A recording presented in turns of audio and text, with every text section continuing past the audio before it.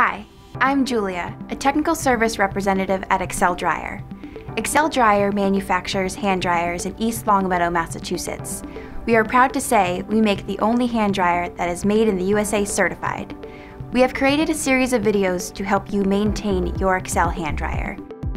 This video will instruct you how to replace the sensor in your XLERATOR hand dryer and also how to adjust the sensor range. First, disconnect the power supply to the dryer, usually located in your electrical panel box, and remove your cover. Confirm power is disconnected by checking if there is any voltage at the terminal block.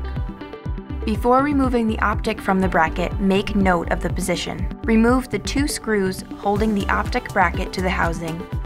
For better accessibility to the sensor connector, loosen but do not remove the two screws that hold the control to the bracket. Slide the bracket up and forward. Remove sensor connector. Pinch the wire harness connected to the control and remove.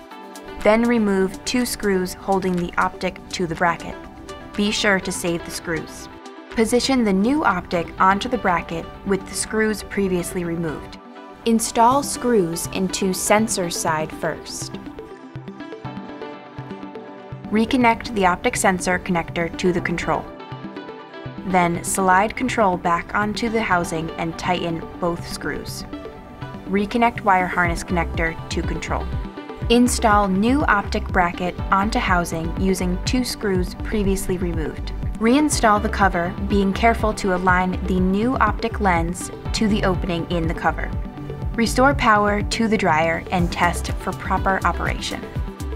Thank you for your interest. And if this video still leaves you with questions, please call our customer service department at Excel Dryer at 800 255 9235.